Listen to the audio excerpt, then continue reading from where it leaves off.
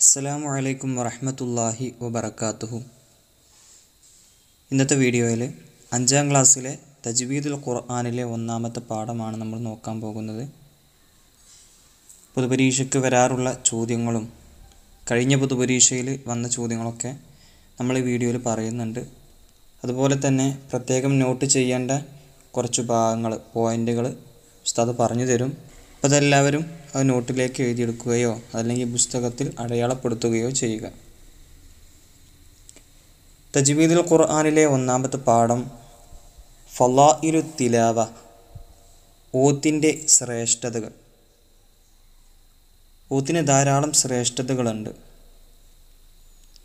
വിശുദ്ധ ഖുർആൻ പഠിക്കലും പഠിപ്പിക്കലും വളരെയേറെ പുണ്യമായ അമലാണ്.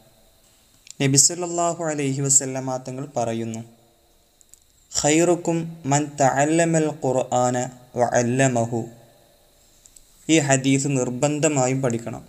കാരണം എല്ലാ പരീക്ഷകളിലും അധിക ക്ലാസ്സുകളിലെ എല്ലാ പരീക്ഷകളിലും ഈ ഹദീസ് വരാറുണ്ട്. ആറിൽ വന്നിട്ടുണ്ട് അഞ്ചിൽ വന്നിട്ടുണ്ട് നാലിൽ വന്നിട്ടുണ്ട്. എല്ലാ അധിക പരീക്ഷകളിലും ഈ ഹദീസ് വരാറുണ്ട്. അപ്പോൾ ഇത് ജീവിതത്തിൽ നിത്യമാക്കണം. ഖൈറുക്കും മൻ തഅല്ലമൽ ഖുർആന വഅല്ലമഹു. ഖുർആൻ പഠിക്കുകയും അത് പഠിപ്പിക്കുകയും ചെയ്യുന്നവരാണ് നിങ്ങളിൽ ഏറ്റവും ഉത്തമന്മാർ. ഇതാണ് ആ ഹദീസിന്റെ ആശയം. എന്താണ്? ഖൈറുക്കും മൻ തഅല്ലമൽ ഖുർആന വഅല്ലമഹു. ഖുർആൻ പഠിക്കുകയും അത് പഠിപ്പിക്കുകയും ചെയ്യുന്നവരാണ് നിങ്ങളിൽ ഏറ്റവും ഉത്തമന്മാർ. ഇതിന്റെ അർത്ഥം കൂടി പഠിക്കുക. ചിലപ്പോൾ ഹദീസ് തന്നിട്ട് അർത്ഥം എഴുതാൻ വരാറുണ്ട്. അതല്ലെങ്കിൽ അർത്ഥം എഴുതിയിട്ട് ഹദീസ് എഴുതാൻ പറയാറുണ്ട്. നബി സല്ലല്ലാഹു അലൈഹി വസല്ലമ പറഞ്ഞതായി ഉമ്മുൽ മുഅ്മിനീൻ ആയിഷ റളിയല്ലാഹു അൻഹ പറയുന്നു. അൽ മാഹിറു ഫിൽ ഖുർആനി മഅ സഫറത്തിൽ കിറാമിൽ ബറാറ. ഈ ഹദീസും കാണാതെ പഠിക്കണം. അതിന്റെ അർത്ഥവും എന്താണ് ഹദീസിന്റെ അർത്ഥം? ഖുർആാനിൽ നൈപുണ്യം നേടിയവർ ഖിയാമത്ത് നാളിൽ സഫറത്ത് എന്ന ബഹുമാനികളായ മലക്കുകളുടെ കൂടെയായിരിക്കും സ്വർഗത്തിൽ വസിക്കുക. ഖുർആാനിന്റെ നൈപുണ്യം നേടിയവർ ഖിയാമത്ത് നാളിൽ സഫറത്ത് എന്ന ബഹുമാനികളായ മലക്കുകളുടെ കൂടെയായിരിക്കും സ്വർഗത്തിൽ വസിക്കുക. ഇത് ആയിഷ ബീവി റളിയല്ലാഹു അൻഹ റിപ്പോർട്ട് ചെയ്ത ഹദീസിലുള്ളതാണ്. അപ്പോൾ ആയിഷ ബീവി റിപ്പോർട്ട് ചെയ്ത ഹദീസിലുണ്ട് എന്ത് എന്ന് ചോദിച്ചു കഴിഞ്ഞാൽ ആ ചോദ്യം പരീക്ഷയിൽ വന്നതുമാണ്. അപ്പോൾ ഇത് എഴുതി കൊടുക്കണം ഈ ഹദീസ്. നിങ്ങൾ ഖുർആൻ പാരായണം ചെയ്യുക. അത് ഓതുന്നവർക്ക് ശുപാർശ ചെയ്യാനായി അന്ത്യനാളിൽ അത് വരുന്നതാണെന്ന് മുസ്ലിം റിപ്പോർട്ട് ചെയ്ത ഹദീസിലുണ്ട്. അതുപോലെ തന്നെ മറ്റൊരു ചോദ്യമാണ് ഇമാം മുസ്ലിം റിപ്പോർട്ട് ചെയ്ത ഹദീസിലുണ്ട് എന്ത്? അതിന്റെ ആൻസറാണ് നിങ്ങൾ ഖുർആൻ പാരായണം ചെയ്യുക അത് ഓതുന്നവർക്ക് ശുപാർശ ചെയ്യാനായി അന്ത്യനാളിൽ അത് വരുന്നതാണെന്ന് മുസ്ലിം റിപ്പോർട്ട് ചെയ്ത ഹദീസിലുണ്ട്. ഇനി അല്പമെങ്കിലും ഖുർആൻ മനപ്പാടമില്ലാത്തവന്റെ ഹൃദയം പൊളിഞ്ഞ വീട് പോലെയാണ്.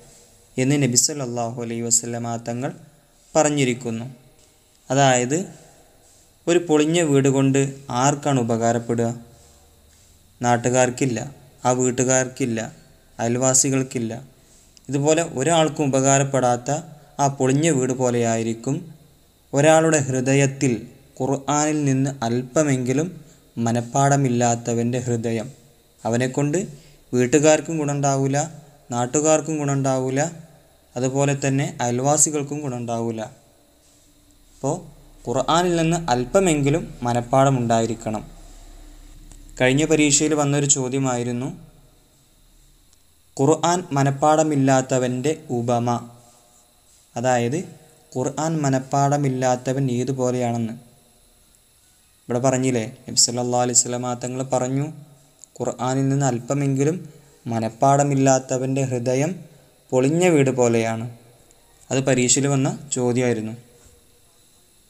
ഇനി ഒരു പ്രദേശത്ത് ഖുർആൻ മനഃപ്പാടമുള്ള ഒരാളെങ്കിലും ഉണ്ടായിരിക്കൽ അനിവാര്യമാണ്. ഒരു പ്രദേശത്ത് നമ്മുടെ നാട്ടിലാണെങ്കിൽ ആ നാട്ടിൽ ഖുർആൻ മനഃപ്പാടമുള്ള ഒരാളെങ്കിലും ഉണ്ടായിരിക്കണം. പരീക്ഷയ്ക്ക് വരാൻ സാധ്യതയുള്ള ചോദ്യമാണ് ഒരു പ്രദേശത്ത് ഉണ്ടായിരിക്കൽ അനിവാര്യമാണ്. എന്ത് എന്ന് ചോദിക്കും.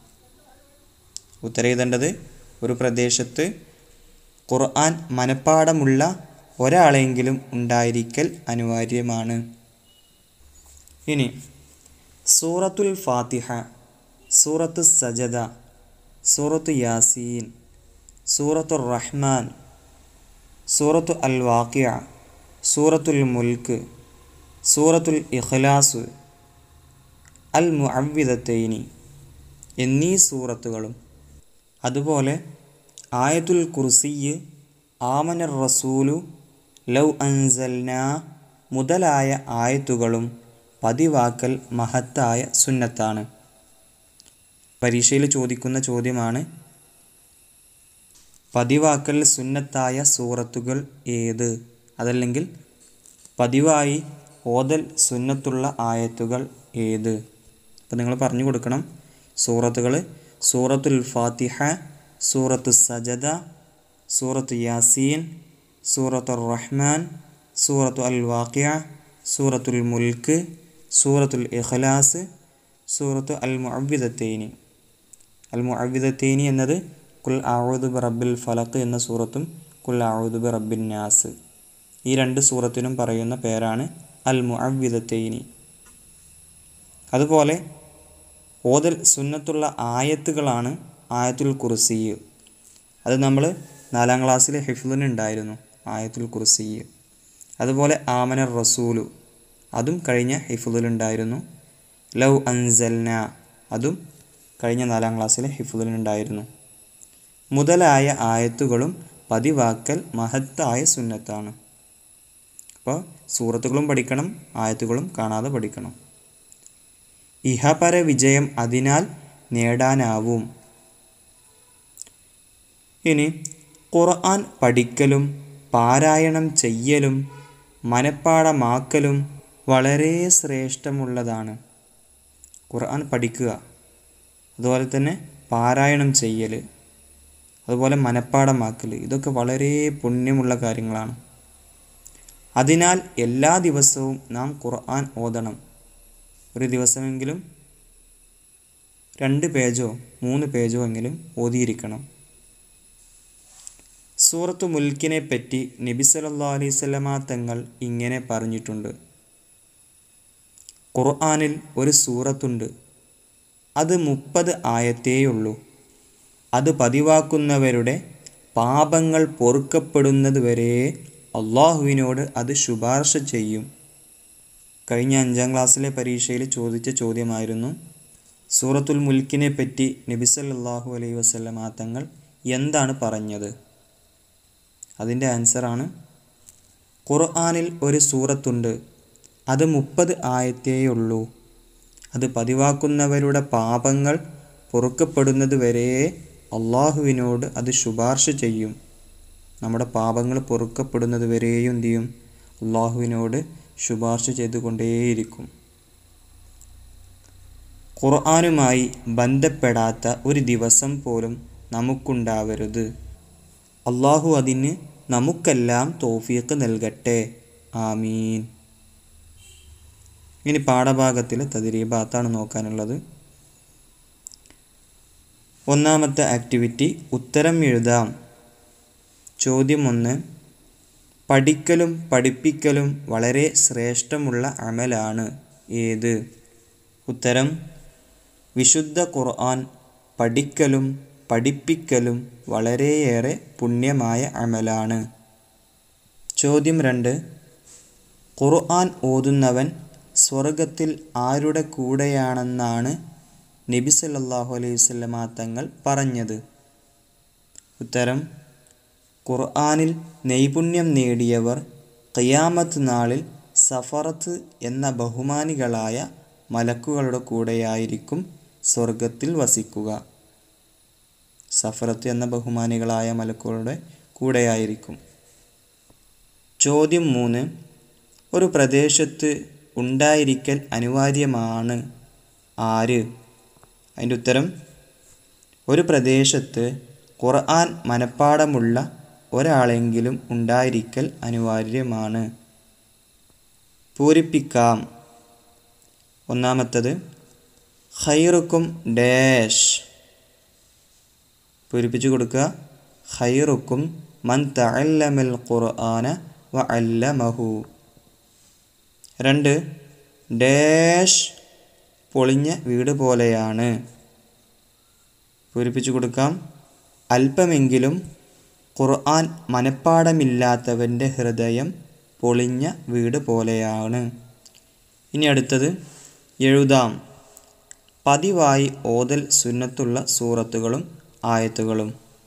എന്ന് മുകളിൽ സൂറത്തുൽ ഫാത്തിഹ സൂറത്തു സജദ സൂറത്തു യാസീൻ സൂറത്തുർ റഹ്മാൻ സൂറത്തുൽ വാക്കിയ സൂറത്തുൽ മുൽക്ക് സൂറത്തുൽ ഇഖ്ലാസ് അൽ മുഅവ്വിദത്തൈനി ആയത്തുകൾ ആയത്തുൽ കുർസിയ് ആമന റസൂലു ലൗ അൻസൽന.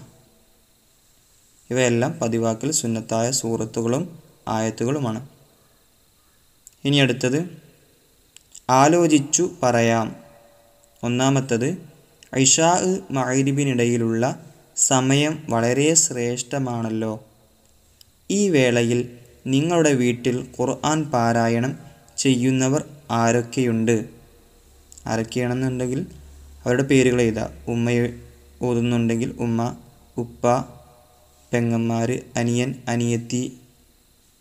അവർ എന്തെല്ലാം സൂറത്തുകൾ പാരായണം ചെയ്യുന്നു? യാസീൻ ഓതുന്നവരുണ്ടാകും റഹ്മാൻ സൂറത്ത് ഓതുന്നവരുണ്ടാകും മുൽക്ക് സൂറത്ത് ഓതുന്നവരുണ്ടാകും. അതൊക്കെ നിങ്ങളെ നോട്ട് ബുക്കിൽ എഴുതിയെടുക്കുക രണ്ടാമത്തെ ചോദ്യം.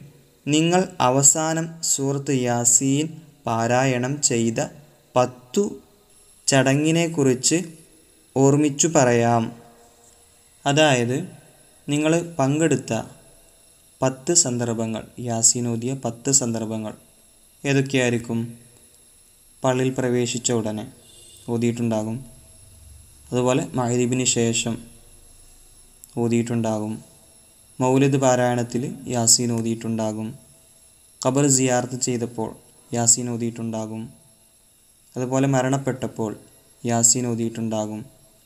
ഖബർ സിയാറത്ത് ചെയ്തപ്പോൾ യാസീൻ ഓതിയിട്ടുണ്ടാകും.